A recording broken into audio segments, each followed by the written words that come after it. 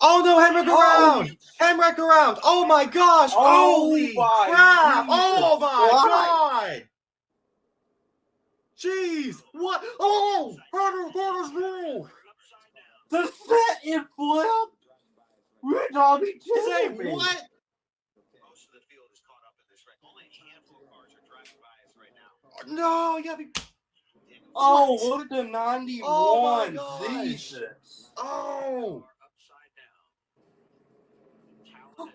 Oh, what? Everybody, literally everyone got obliterated. And, and when he does that, just mayhem ensues here. You're see Austin Hill was involved. crashes. The 91 here with a massive hit up against outside wall. Oh. Takes the camera out. Yeah, the camera got obliterated in that as well. Yeah, here's Like, here's a better angle of it. It looks like he just everyone just keeps plowing in there, and that, that just caused the 11 to flip over like that. Gosh darn! Holy moly! What is this?